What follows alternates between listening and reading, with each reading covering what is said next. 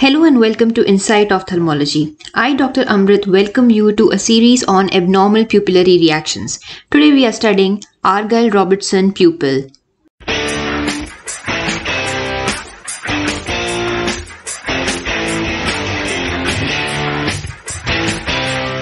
In my previous video on light reflex pathway, I told you that the afferents for the light reflex starts from the retina and goes up to the pretectal nucleus and the efferent starts from the Edinger-Westphal nucleus and goes up to the short ciliary nerve which will go and supply the sphincter pupillae.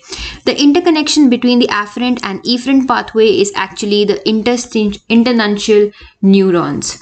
The internuncial neurons are shown in the red ink that I'm drawing and we can see that the pretectal nucleus is actually sending the impulses to both the Edinger-Westphal nucleus. Pretectal nucleus and the Edinger-Westphal nucleus, they both are located in the midbrain. From the diagram that the Edinger-Westphal nucleus as shown over here Dorsal or rostral to the Edinger-Westphal nucleus is a superior colliculus which is having the pretectal nucleus.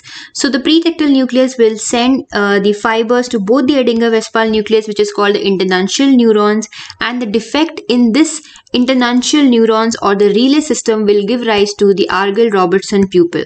However, the Edinger-Westphal nucleus also has connections for the near reflex pathway which are present ventral to the Edinger-Westphal nucleus. So whenever we have a lesion of the tectum of the midbrain which is actually the dorsal part of the midbrain also called the rostral part of the midbrain, the light reflex will be affected. However, this Edinger-Westphal nucleus is also involved in the near reflex pathway but the near reflex pathway is present somewhere ventrally, somewhere in this location and therefore the dorsal lesions of the midbrain will not affect the near reflex pathway.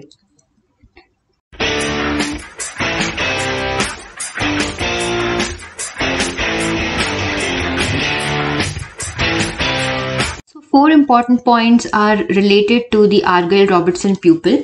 The first thing is that the ARP pupil or the Argyll-Robertson pupil are usually smaller.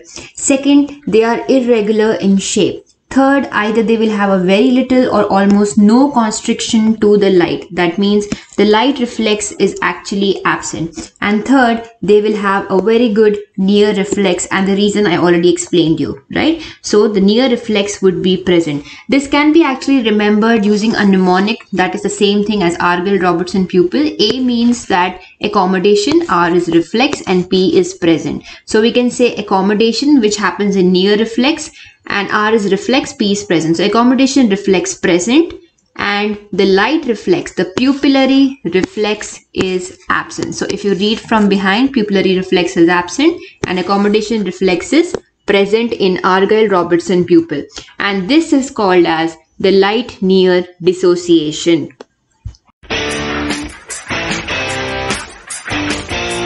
is there miosis or constriction in Argyll-Robertson pupil?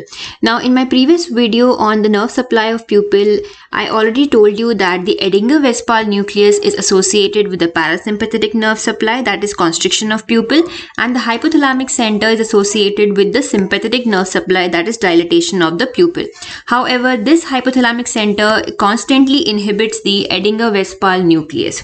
What happens in Argyll-Robertson pupil is that the hypothalamic center is also affected in such a way that there is disruption of this inhibition to the Edinger-Westphal nucleus.